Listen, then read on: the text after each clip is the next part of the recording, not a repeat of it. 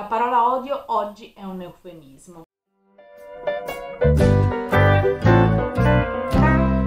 Benvenuti su Preferiti di Gio, come state? Spero tutto bene. Come dicevo nell'intro, la parola odio, come mi è stato fatto notare, eh, in questo format ovviamente è un must, perché così almeno ci rendiamo conto di cosa effettivamente andiamo ad analizzare della mia persona, mia persona ovviamente, non in maniera generalizzata, viene eh, utilizzata a sproposito perché molto spesso vado a parlare di argomenti che in realtà non bisognerebbe odiare, ma sono cose che normalmente non mi piacciono. Quindi ehm, oggi prendetelo come spreferito, le cose spreferite, le cose che principalmente in realtà mi fanno spavento sul futuro, che è il tema di questo mese. Prendiamola un po' come una chiacchierata, una chiacchierata internos a punti perché è un argomento sul quale ho bisogno di sfogarmi, quindi è una specie di combo tra uno sfoggio, il format che uso a volte nelle dirette di Instagram, e uno spreferiti di gioco. Il futuro penso che sia una di quelle cose che spaventano un po' tutti, soprattutto adesso dove il futuro è talmente incerto che ogni due settimane siamo lì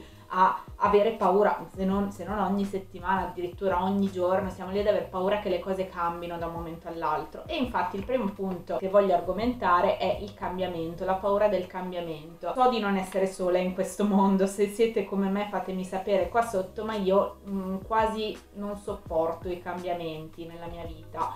O meglio, riesco a sopportarli ma eh, non nel breve termine, non a breve tempo ehm, se è una cosa repentina faccio molta fatica ad assorbirla e in questo periodo mi sta mettendo molto molto molto alla prova in questo senso perché si tratta di un cambiamento lineare e costante anche magari nel, in un lungo periodo della mia vita è una cosa che riesco a digerire, a sopportare, riesco anche a cambiare rotta in un certo senso se ho il tempo per digerire la cosa. Il futuro mi spaventa perché nulla è costante nella nostra vita nulla è immutato nella nostra vita, le cose sono comunque destinate a cambiare sotto ogni aspetto. E questa è una cosa che onestamente odio, tra virgolette ovviamente, mh, mm, principalmente mi spaventa tanto. Allo stesso tempo mi eccita l'idea che le cose non rimarranno immutate perché non è che sto vivendo il periodo migliore della mia vita, però mi spaventa perché non so cosa aspettarmi. Abbiamo un secondo e un terzo punto di questa chiacchierata che rientrano un po' nella paura delle aspettative e adesso andiamo ad analizzarli in questi due frangenti. Noi stessi e il contesto in cui viviamo, le persone con cui ci approcciamo, bene o male, chi più chi meno, hanno tutti delle aspettative nei nostri confronti, aspettative su cosa diventeremo, sul tipo di persona che siamo e che diventeremo, determinate decisioni che andremo a prendere e insomma di questo tipo. Ciò cosa genera? Genera, vabbè, sicuramente paura di non rispettare queste aspettative sia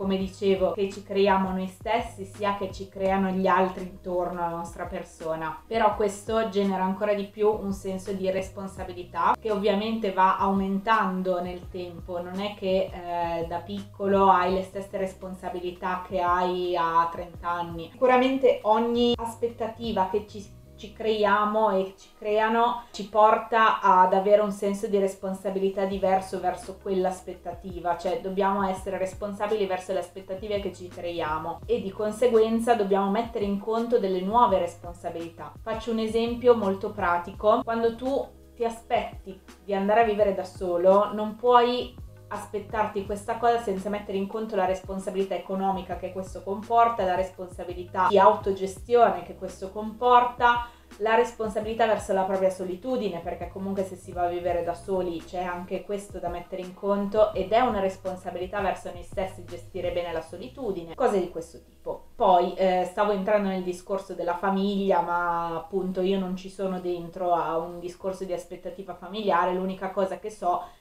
che se mi aspetto in un futuro di avere una famiglia devo mettere in conto l'ennesima responsabilità economica, l'ennesima responsabilità verso altre persone, devo mettere in conto che la responsabilità verso il futuro figlio, il futuro partner anche eh, verrà molto spesso prima della responsabilità verso me stessa e così via. Responsabilità ovunque nel futuro, cosa che odio e non sopporto. Non sopporto l'idea di dovermi prendere delle responsabilità che sono fuori dalla mia competenza. Sempre per quanto riguarda le aspettative, purtroppo viviamo in un contesto sociale che ci impone delle sorte di tappe. L'ho voluto chiamare così perché mi immagino la vita come un, un sentiero con dei checkpoint. Ci sono dei checkpoint che nella società in cui viviamo sono legati a delle fasce d'età. Abbiamo i checkpoint de- dati dal percorso scolastico, per esempio, questi sono banalissimi, però è vero, cioè esistono comunque, eh, della fine delle elementari, della fine delle medie, della fine delle superiori, del percorso universitario e via dicendo. Infatti è una cosa che agita soprattutto gli universitari che hanno, tra virgolette, più elasticità temporale per finire il proprio percorso di studi. Hanno o si prendono la libertà di avere? Questo rifletteteci voi perché io sono fuori dall'argomento, però per terze persone mi sono approcciata a questa cosa. Invece le cose più difficili sono le tappe, i checkpoint che riguardano la sfera relazionale emotiva. Sicuramente da piccolo sono checkpoint sempre accolti con gioia, quindi per dire anche le prime mestruazioni.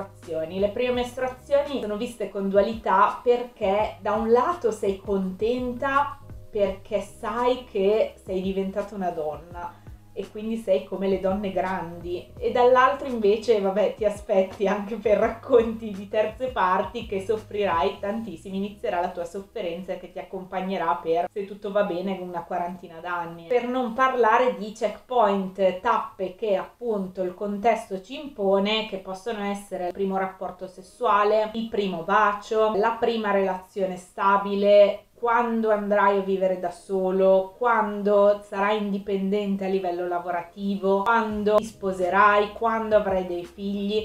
La società ci impone che anche queste siano delle tappe con delle scadenze. Io mi sento molto in ansia pensando al futuro, pensando che tra un mese compierò 28 anni, sto per sfiorare i 30 anni, al solo pensiero, pensando che i 30 sono un grandissimo checkpoint imposto dalla società che ci impone a 30 anni di avere un'indipendenza economica, di avere un'indipendenza a livello abitativo, di avere un'indipendenza a livello relazionale, di intraprendere una relazione che poi ci accompagnerà per il resto della vita. Non so se è una cosa che mi sono costruita io, ma ho la sensazione che a me come persona e a tutta la mia generazione sia stata un po' imposta questa cosa perché in passato era così. So che ci sono anche tante lotte in corso per evitare che questa cosa generi il caos, perché queste, questi checkpoint, queste tappe sono fatte per ma- mantenere l'ordine in un certo senso, per avere la, la sicurezza che a una determinata età tutte le persone, tutti gli esseri umani siano tutti sullo stesso piano, ma la verità è che siamo tutti diversi, tutti abbiamo checkpoint diversi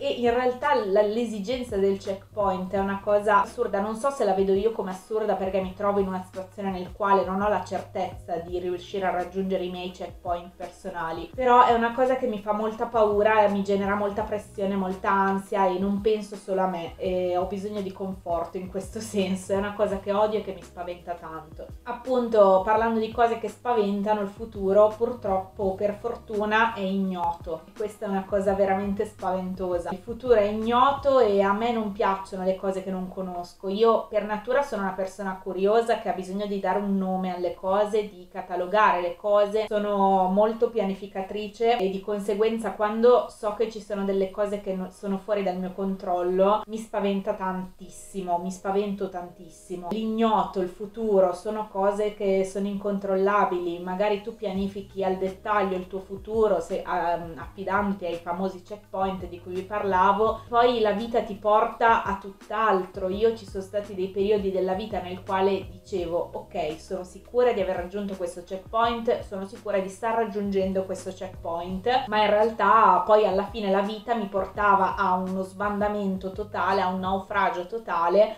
per il quale poi dovevo ripartire da zero, ristabilire dei checkpoint e via dicendo ed erano cose ignote appunto, cose che io non avevo previsto e che mai avrei potuto prevedere, quindi sicuramente l'ignoto fa parte di questo elenco perché è una cosa che mi spaventa, ma in tutte le cose, non solo nel futuro, anche le cose che non conosco mi spaventano e questo penso sia parte della natura umana. Un'altra cosa che sempre fa parte del precedente punto è la pianificazione, come vi ho detto e straripetuto e stradetto in altri video sono una persona che pianifica, che ama pianificare, che ama avere tutto sotto controllo, tutto inquadrato in un determinato schema. Sono sempre stata una persona schematica, di conseguenza pianificare il futuro è una cosa che mi spaventa perché è una cosa che sicuramente genererà un cambiamento e qua ritorniamo al primo punto.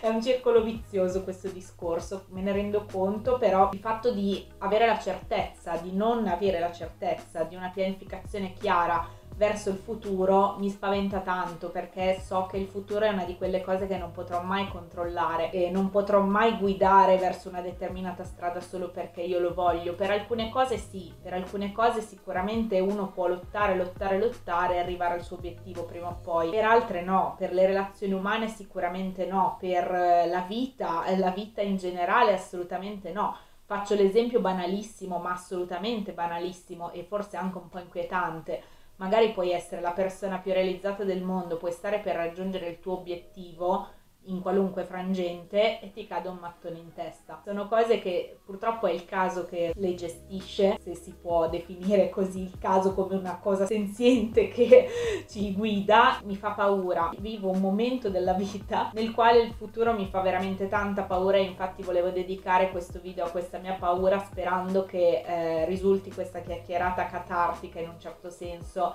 nell'affrontare il futuro perché io voglio smetterla di avere paura del futuro, avere paura di non raggiungere i miei checkpoint, avere paura di non arrivare in tempo per avere paura di perdermi qualcosa per strada. Basta, voglio dire basta a questa cosa. Spreferiti di Gio oggi ha compiuto un grande gesto di autorealizzazione. Brava perché? spero appunto che questa paura passi prima o poi. Se volete sfogarvi in merito ovviamente lo spazio nei commenti è tutto vostro, fatemi sapere cosa vi spaventa di più nel futuro cosa odiate di più nel futuro. Io sarò qua per accogliere le vostre richieste e chiacchierare insieme. Se vi è piaciuto questo video lasciatemi un pollicino di supporto, se pensate che questo video possa interessare i vostri amici, parenti e conoscenti condividetelo su tutti i vostri social e se vi piace questo canale e quello che faccio iscrivetevi e cliccate sulla campanella. Noi ci vediamo domani con TV Joe, invece con il prossimo Spreferiti di Joe ci vediamo il 3 di giugno. Un bacione